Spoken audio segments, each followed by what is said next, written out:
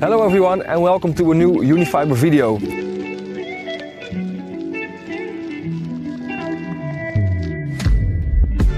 I'm here with the new Unifiber foil bag range. We have three different types and in this video I'm going to show you the difference between the three. All three bags are basically designed to keep your foil safe during your travels and during storage at home or in your car. Therefore the bags are made out of two main materials which are polyester and tarpaulin to keep your bags water resistant and super durable with in between a good amount of padding to keep your foil parts protected.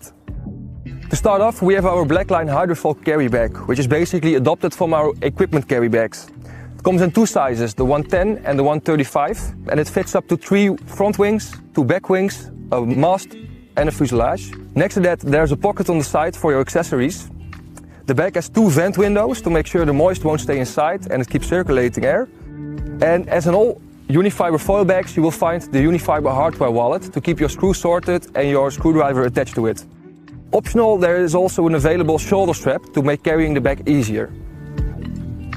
Then we come to our totally new designed Hydrofoil bag, which comes in two sizes, the 110 and the 135, and fits up to two foils. What makes this bag unique is the way you can sort your foil components. In the bag you will find two dividers with placeholders for all your parts to keep them secure and sorted. The outer shell of the bag has a 10mm padding and on the front it has a mesh window to make sure air comes in and moist goes out.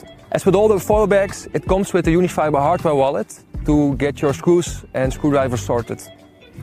Next to the three carry handles on the back, there's also an optional shoulder strap to make carrying the bag even easier.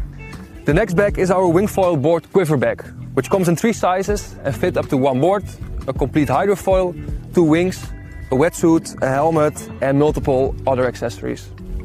Similar to the hydrofoil bag, this bag has dividers with placeholders to sort and secure your foil components. Next to that it has a location where you can put two wings and underneath the placeholders you can put your board. The outer shell again has a 10mm padding and again it has windows to get the air in and the moist out.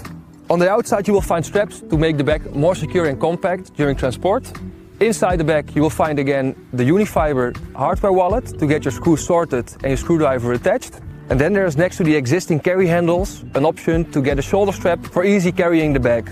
The smallest size board bag, 155 by 65, fits within the most airline luggage limitations, so no additional fees on that. Then on the bottom of the board bag you will find a place for your optional wheelbase to make carrying the bag easier on for instance the airport. On top of the board you will find anchor points to attach your board bag to the roof rack using tie-down straps. This overall makes this board bag the ultimate travel buddy. That was it for the Unifiber foil bag range. If you want to know more, please head to the Unifiber website. Thank you guys for watching and see you on the next one.